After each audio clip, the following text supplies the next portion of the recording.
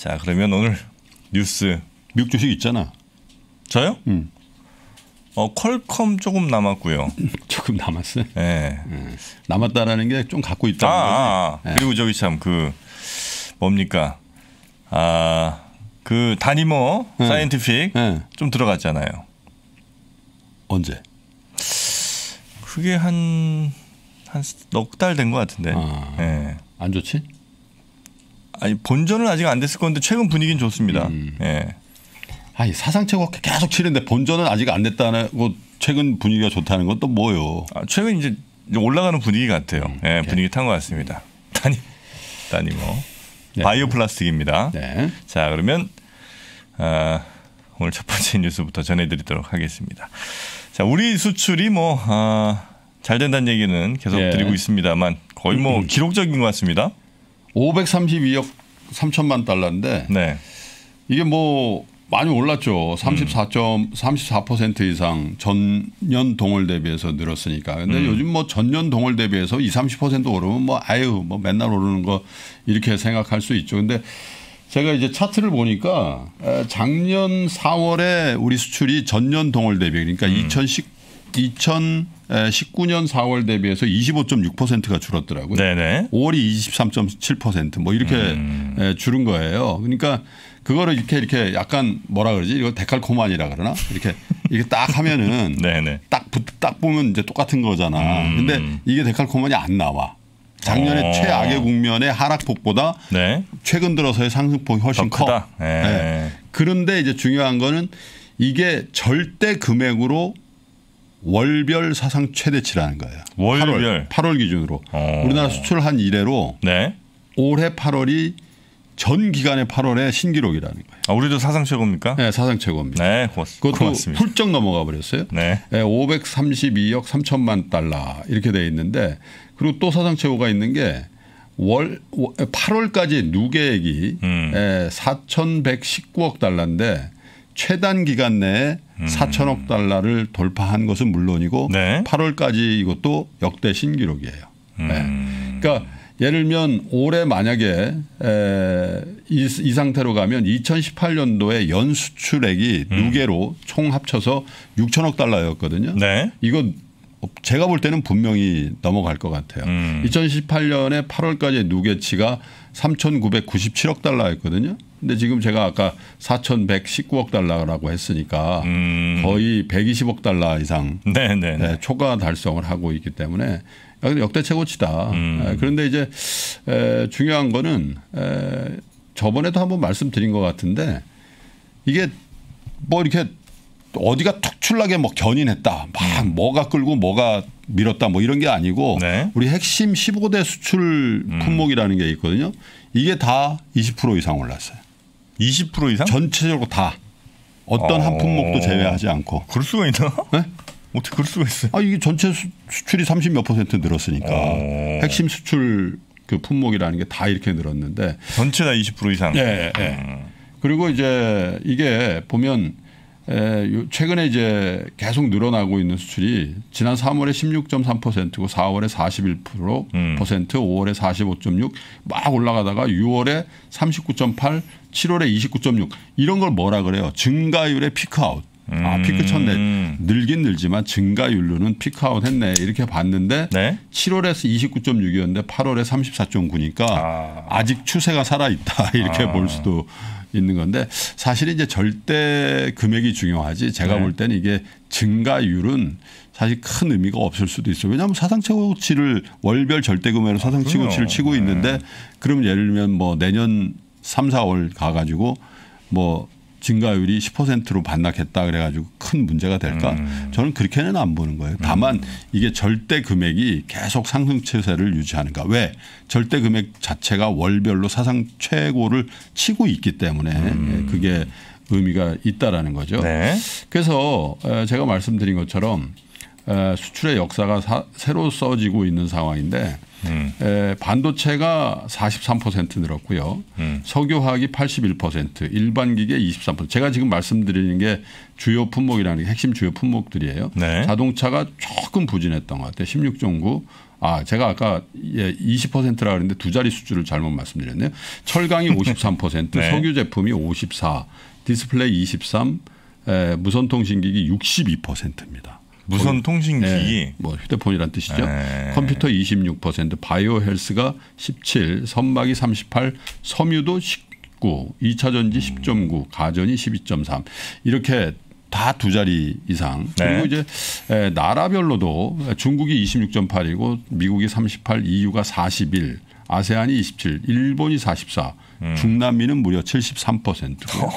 중동이 15, 인도 53, CIS 러시아 이쪽이죠. 예, 34. 그러니까 지역별로도 매우 고른 음. 고르게 예, 잘 이렇게 성장했네요. 음. 되고 있다는 거죠. 그래서 이제 모르겠습니다. 어제도 이제 우리 증시가 아, 다시 3,200포인트를 회복을 했잖아요. 음. 네. 예, 그리고 이제 에, 수출이 이렇게 호조세가 유지되는 한 사실 우리 제조업체를 비롯한 우리 상장 기업들은 수출하고 거의 밀접하게 돼 있어요. 지금 뭐 내수는 굉장히 안 좋지 않습니까? 음. 네. 물론 이제 뭐 상장사 중에도 이제 내수에 의존하는 에, 그런 비즈니스 모델을 갖고 있는 데가 없지 않습니다만은 음. 대체로 상장 기업의 실적은 수출 실적하고 거의 패러하게 움직이거든요. 네. 그래서 어쨌든 이 수출의 증가율이 아직 꺼지지 않았다라는 걸 확인한 의미 있는 날인 것 같고요 어제가 그리고 에, 앞으로 그럼 어떻게 될 거냐 음. 저번에도 말씀드렸습니다마는 에, 세계 경제가 아직도 공급 쪽에서의 버틀렉이 꽤 있다는 거죠. 음, 음. 예, 그런 상태에서 수출이 진전이 되기 있기 때문에 일부 네. 품목에 대해서는 사실 공급이 원활하게 됐을 경우에 더 늘 수 있는 부분도 있다 이렇게 아. 보여지거든요. 네. 그리고 지역별로 또 품목별로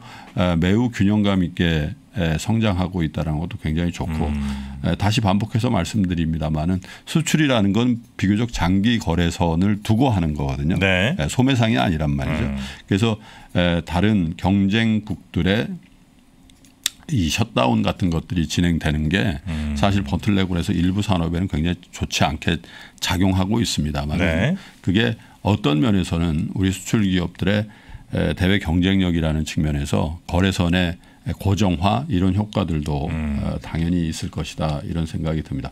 그래서 어쨌든 이런 수출에 대한 호조세가 견지된다라는 전제하에서 우리 증시의 대폭적인 하락 또 하락 반전과 붕괴 이런 것들을 얘기하는 게 음. 사실은 수출이 진짜 예를 들면 얘는 2016년도 같은 그런 어떤 하락 반전 아, 16년도에 안 좋았어요. 아유 수출이? 2016년도 11월까지 계속 수출이 마이너스였죠. 어 그래요. 예, 그리고 2018년도 초부터도 다시 예, 트럼프가 이제 중국하고 싸우는 음. 아, 네, 그래서 그때는 맥을 못 쳐요 우리 증시가. 음. 근데 이제 수출이 제 기억이 맞다면 2016년도 11월부터 음. 살짝 꼬리를 들기 시작했거든요. 그래서 2016년도 11월, 12월 그리고 2017년 이러면서 사실은 에, 그때 그 박스권 탈피하는 네, 네, 그런 네, 네. 장세가 나왔고 그때 견인했던 게 삼성전자 아니었습니까? 음.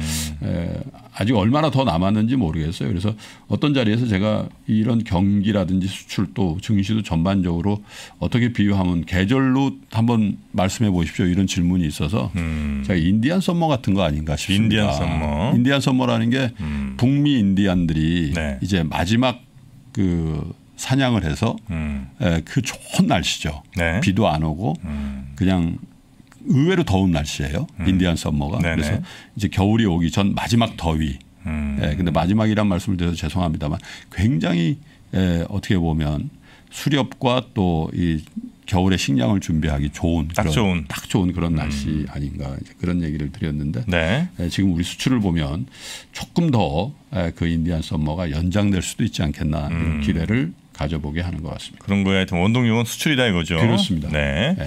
자, 수출이 8월에 매우 잘 나왔고요. 그리고 어제 아마 증시에서 제일 에, 각광받았던 관심받았던 주들이 아마 또 수소 관련이 아닌가. 어제 뭐 일진 하이솔루스 갖고 아. 계신 분들은 뭐 판 분들은 따상으로 해가지고 음, 예, 뭐 어- 얼마의 공모가 대비해서 200, 260% 나는 건가? 따, 따상이면? 그렇죠. 예. 먹은 돈 하여튼 160%겠죠. 그래 160%. 예. 그리고 그래서 이제 단단하게 지켜줬거든요. 그래서 음. 오늘도 기대를 하시고 계실 것 같고 예, 어제도 이제 그 수소 관련주들이 굉장히 많이 올랐어요. 음. 그래서 예를 들면 뭐 에, 소형 모듈 원전 및 연료전지 개발에 나선 두산과 두산중공업이 어제 11.73, 4.78 급등을 두산중공업이요? 예, 예, 예. 음. 여기도 이제 수소 관련된 일을 한다는 거잖아요. 어. 그래서 이 어쨌든 일진 하이솔루스로 다시 이제 재부각이 된 거죠. 어, 음. 수소 산업이라는 게 그렇게 돈이 된단 말이야. 근데 제가 제가 한 2주 전인가요? 각 그룹의 어떤 신재생 에너지 투자의 로드맵들을 쭉 소개해 드릴 때 음.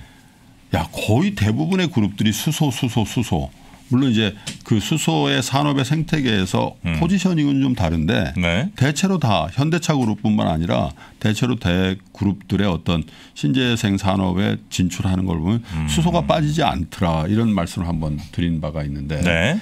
에, 이제 이번 달 8일에 현대차 그룹, SK, 포스코 등이 구성한 음. 수소 기업 협의체가 공식적으로 출범을 한다 그래요. 음. 에, 한화, 효성까지 참여하는 다섯 개 참여 그룹사인데 네. 이 다섯 개 그룹사만 하더라도 음. 2030년까지 무려 43조 규모를 수소 경제에 투자한다. 음. 이런 이제 내부 계획을 세우기 있다 그래요. 거기다가 이제 에, 하반기 정부의 수소 인프라 확대를 위한 정책 마련이 굉장히 본격화할 것이다. 이런 에, 전망들이 나오잖아요. 제가 제가 어, 한병화 위원하고 통화를 해보니까 네. 내년 예산에 어제도 말씀드렸습니다마는 수소차에 대한 보조금이 에, 대수로 한 사람 한 3만 대 규모의 어. 네. 네, 네, 네. 근데 어쨌든 지금 현재 에, 우리나라가 에, 수소차 분야에 글로벌 수소차 시장에 물론 굉장히 미미한 시장이긴 합니다만은 네.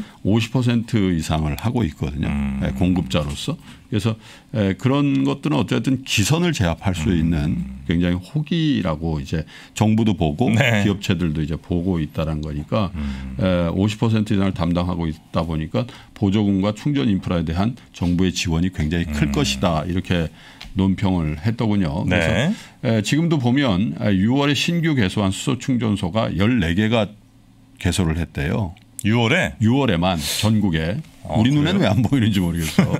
근데 이게 에, 올해 1월에서 5월 평균 몇 개가 개소했냐? 월 평균으로 2.4개가 됐다는 거예요. 아 이거 뭐 월 평균 내는 것도 좀 개수가 그러네요. 네? 근데 이제 네. 어쨌든 에, 최근 6, 6월 달에 아. 14개라는 건 굉장히 눈에 띄는 아. 증가잖아요. 이제 그래서 그래서 이런 이런 것들이 근데 다만 FN 가이드가 수소 경제와 관련된 종목들로 구성된 음. FN 가이드 수소 경제 테마 지수의 최근 6개월간 수익률을 뽑아 보니까 네. 수소 관련주들이 좋았냐 안 좋았냐 이걸 음. 6개월 수익률을 보니까 3.07% 올랐다는 거예요. 아, 뭐 이렇게 썩 좋지 네, 않네요. 근데? 이제 같은 회사에서 에, 만든 지수 중에 2차 전지 산업 지수라는 게 있는데 이건 17.33%가 올랐다는 음. 거죠. 그래서 이제 저는 이런 생각이 들어요. 수소주가 수소 관련 산업이 앞으로 좋아질 거다.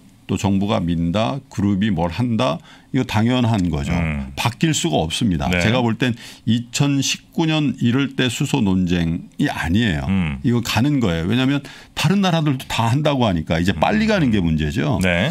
근데 이제 이 주가라는 측면에서는 그럼 뭐, 뭐 그런 재료가 나오면 다 오르냐. 음. 근데 이제 신선하다는 거예요. 뭐가요? 아까 보- 보면 들올랐다는 거죠. 아. 거기다가 네. 거기다가 사실 이제 좀 피로감을 느끼기 시작한 산업이 있죠.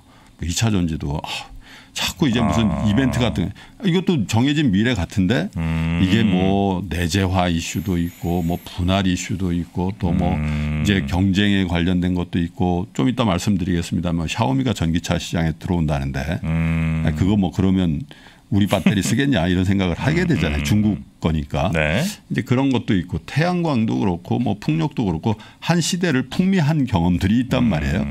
어, 작년에 풍력이 얼마 좋았습니까? 음. 네, 네, 네, 그죠? 네. 그래서 아마 이 수소가 신재생 에너지 쪽에 어떤 에, 재료로 테마로서 아, 비교적 신선하다. 음. 네. 그리고 이 확장성이라는 측면에서 이제 막 시작하는 음. 에, 산업과 테마가 아닌가 이제 그런 생각이 있으니까 주가가 더 에, 최근 들어서 탄력적으로 움직인다 이렇게 봐야 될 것 같습니다. 네. 자, 수소 관련된 아, 여러분들의 관심이 예, 굉장히 높은 상황인 것 같고요. 저희도 뭐 또 관련 콘텐츠도 한번 좀 네. 준비해 보도록 하겠습니다. 자, 그리고 방금 말씀해 주셨던 샤오미가 아, 드디어 또 전기차 네. 가, 가는구만요. 예. 음. 에, 자회사인 샤오미 EV 뭐 이 전기차란 뜻이죠. 음. EV라는 게 법인 등록 절차를 마쳤다고 에, 미국의 CNBC 등 음. 에, 언론에서 이제 보도를 했는데 자본금은 1조 8천억이니까 뭐 자본금이라는 건 큰 의미가 없죠. 네. 이제 외부 조달도 할 거고 추가 증자도 음. 하겠죠. 그래서 에, 지난 3월에 샤오미가 이미 전기차 사업을 론칭할 것이라고 발표를 한 바가 있고요. 에, 향후 10년 동안 전기차 사업에 총 100억 달러, 우리 돈으로 11조 6천억 원을 투자할 음. 것이다 이렇게 밝힌 바가 있는데 그 주체 사업의 네. 주체인 샤오미 EV가 이제 법인 설립을 마치고 본격적으로 가동이 음. 된다 이런 거예요. 현재도 뭐 샤오미 EV에 한 300여 명 정도 직원이 근무를 하고 있다고 하고요. 샤오미 창업자이면서 CEO죠. 레이준이 직접 회사를 운영한다. 음. CEO를 한다는 뜻이죠. 네. 그래서 지난 5개월 동안 전기차 팀이 대규모 사용자 연구를 진행했고 계속해서 구체화하고 있다 이런 얘기를 했고요.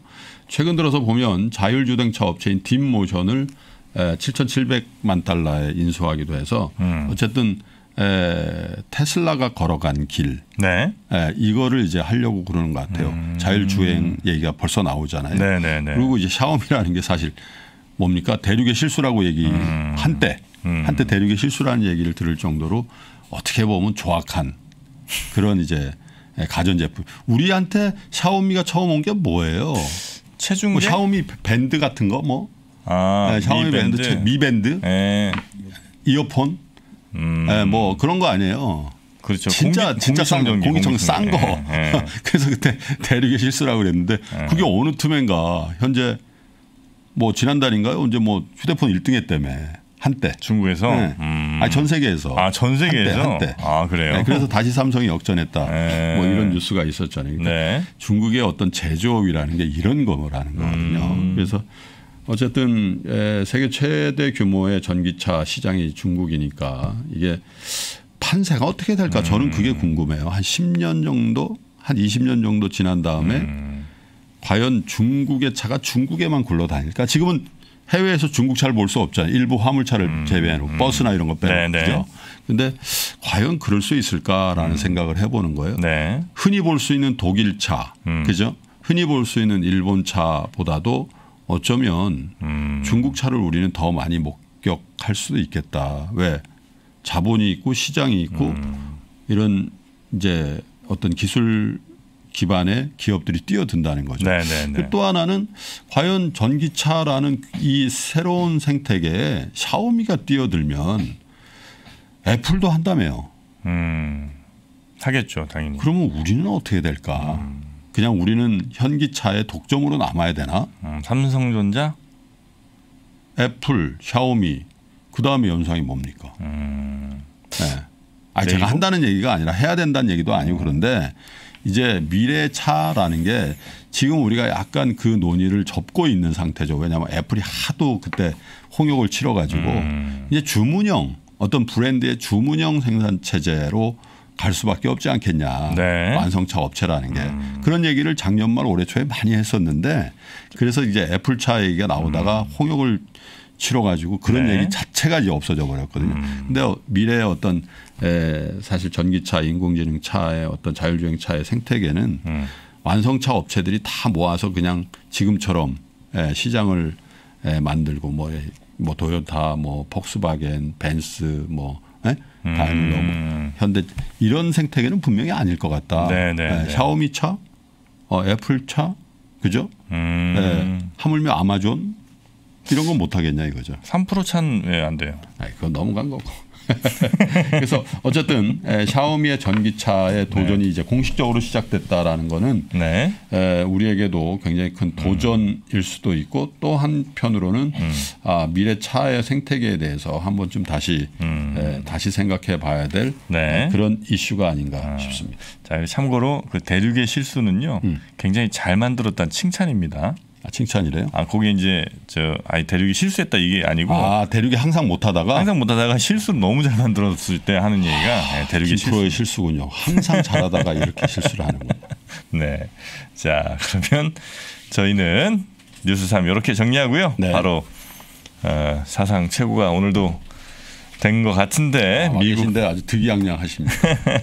예, 미국 주식에 미치다 이항영 교수님 모시러 가겠습니다. 네. 무더운 여름 바캉스 대신 함께 공부해 보는 거 어떤가요? 무더위를 한 번에 날려줄 cool summer 여름 특가 반값 세일 박병창의 매매 기술을 염블리의 친절한 주식 기초 교육을 신규 구매하시면 평소 듣고 싶던 강의를 50% 50% 할인된 가격에 수강하실 수 있습니다. 네이버에서 페이지 2를 검색하세요.